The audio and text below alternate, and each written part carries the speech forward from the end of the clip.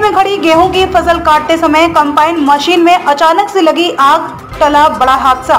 भितरवार अनुभाग के ग्राम धोवट में किसान इंदर सिंह रावत के खेत में लगी आग। कंबाइन मशीन चालक की सूझबूझ से गेहूँ के खेत से कंबाइन मशीन को निकालकर पहुँचाया अन्य स्थान पर।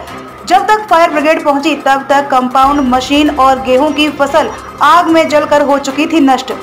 फायर ब्रिगेड की टीम ने बड़ी मशक्कत के बाद पाया आग पर काबू। स्थानीय प्रशासन की टीम मौके पर मौजूद। डबरा से ओम बाबू प्रजापति की रिपोर्ट।